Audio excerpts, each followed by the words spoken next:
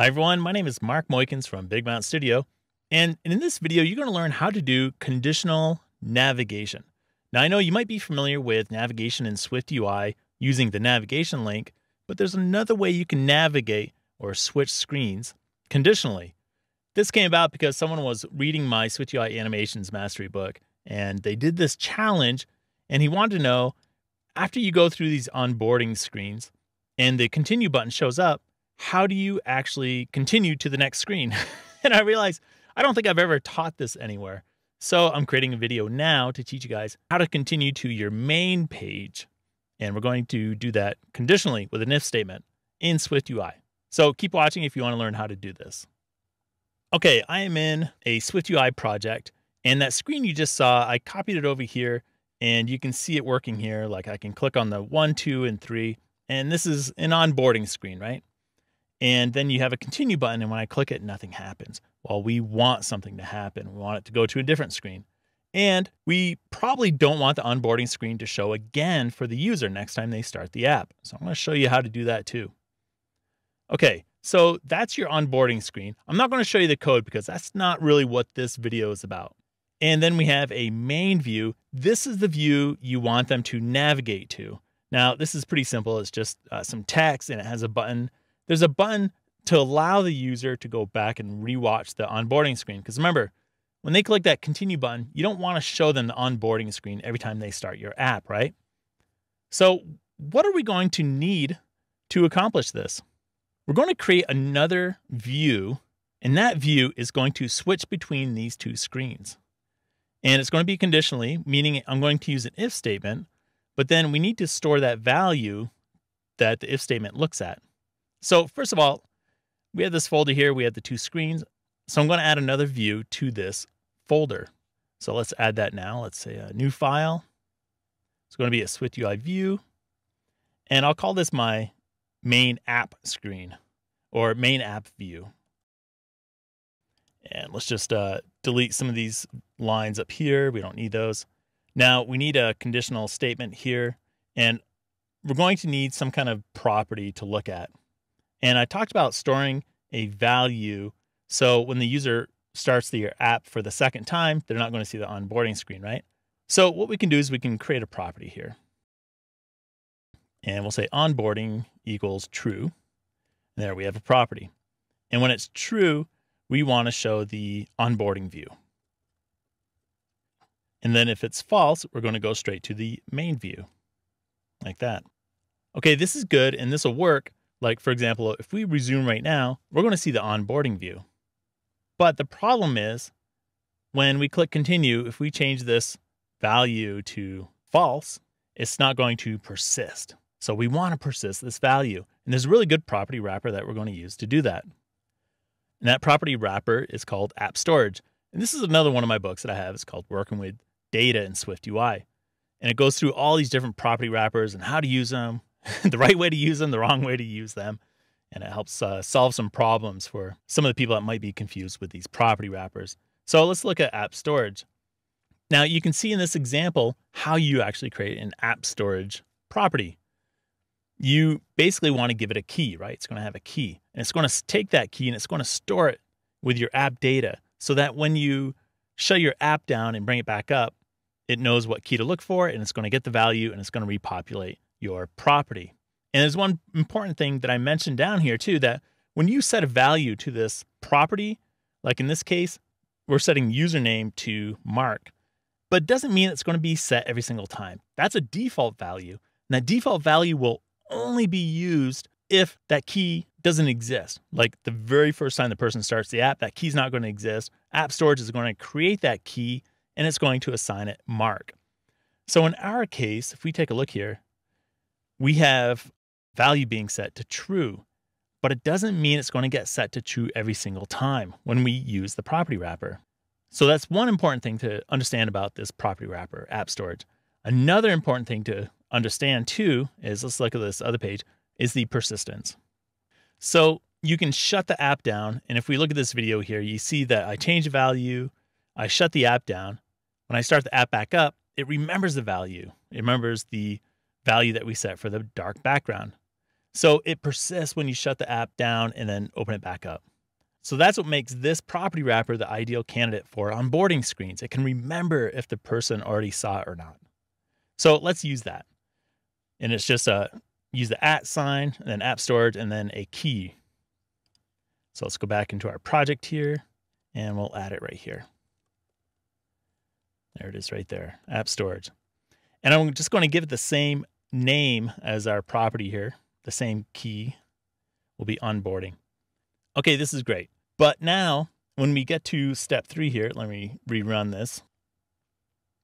When we get to step three, when you click that continue button, we want to change this value of this app storage. So what I'm going to do is I'm just going to copy this property here and I'm going to add it to our onboarding view. So we'll just add it right here. And now when we click on that button, we want to set onboarding to false. So let's go in here. We'll find the button. It's going to be all the way down here. And this is the continue button. You can see the continue right here. So we'll just say onboarding equals false. There you go. So here's what's going to happen. Because this is the parent, as soon as we click that button, this value will become false. And as soon as it becomes false, it'll show this view instead. So it's going to unload this view and then show this view. And then when the main view is showing, you know, we also have this other button here. Let's just resume that. We have this other button, rewatch onboarding. Okay, so what we're going to need is that app storage again. And that's the cool thing about app storage is you can access it from many different screens. Actually, let's go here. We'll just copy it from here. We'll go back to the main view. We'll paste it up here. And then in this button, we're going to set it to false. Onboarding equals false, like that. Now, you could also, because it's a Boolean, you could use the toggle function as well. And that'll switch it from true to false or false to true. Okay, so let's try that and see how it works. Let's go back to our main app view. We can run it. Go through one, two, and three. Click continue, and there we go. We're back on the main view.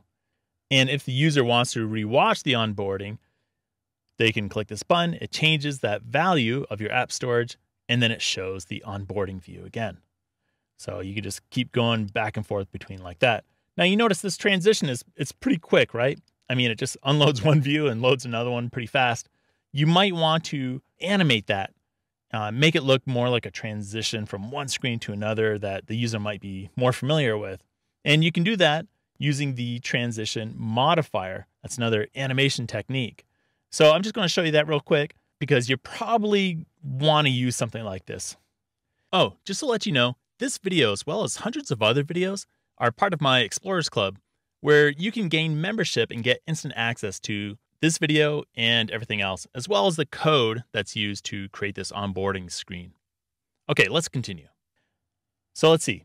When we go to the main view, we want to slide that in from the right. So let's try that. We'll add a transition here. Now, when you add a transition, you have only like five options. You do opacity, scale, slide, and there's another one called move. So we're going to use the move and we want to slide in from the trailing side here. Now, if you're not familiar with transitions, let me give you a quick overview here. In the same animations book, it's actually the next chapter here. So we can uh, take a look at transition. And there's a really simple explanation here transition, you need three parts. So you need a condition, something that inserts or removes a view from the view hierarchy or from the screen, right? So we already have that. We have that condition. And then you actually need the transition modifier, which I just added. And then you actually need an animation. Right now, when I try to use this, so we go back.